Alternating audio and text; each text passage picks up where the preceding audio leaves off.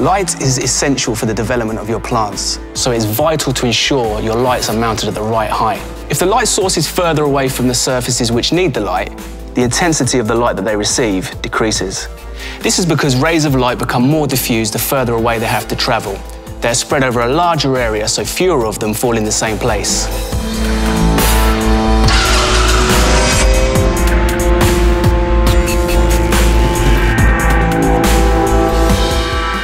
Similar principle applies to the positioning of the lamp reflectors. If you open these reflectors to a wider setting and you look at the wall, you will notice that more light is reaching the wall. This is because a larger total surface area is being illuminated. Make sure that every plant receives light at an equal intensity.